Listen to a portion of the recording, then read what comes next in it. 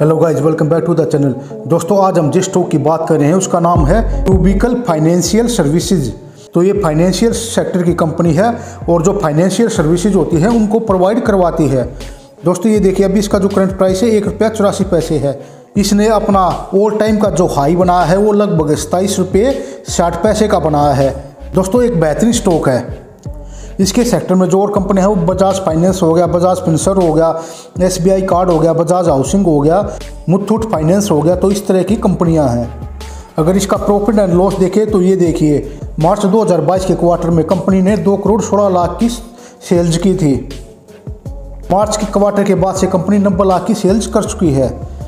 अगर इसके आप प्रॉफिट की बात करोगे तो ये देखिए कंपनी ओवरऑल प्रॉफिट में ही रहती है। 16 लाख सड़सठ लाख 20 लाख उनतीस लाख तो कंपनी ओवरऑल प्रॉफिट में ही रहती है। और अगर कंपनी की शेयर कैपिटल की बात करें जो कम, जो कि कंपनी की खुद की पूंजी है वो तेरह पॉइंट तीन करोड़ की है और अस्सी लाख की इसकी रिज़र्व पूंजी भी है। और सबसे इम्पोर्टेंट बात यह है कि कंपनी के ऊपर कुछ भी कर्जा नहीं है। ये देखिए कंपनी के ऊपर ज़ीरो कर्जा है। अब बात करते हैं इसमें प्रमोटर की होल्डिंग की।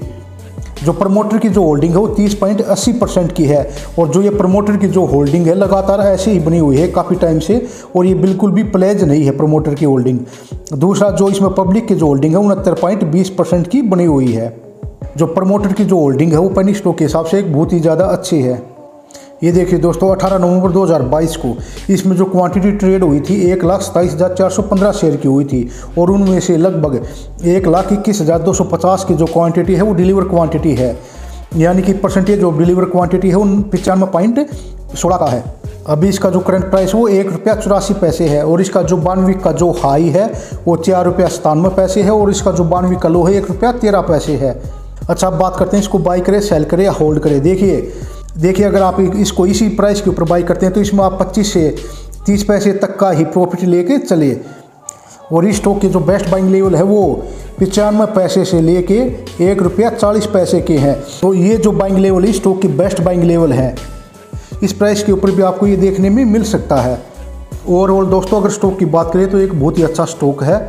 बस आप इसको एक अच्छे प्राइस पे बाई करें।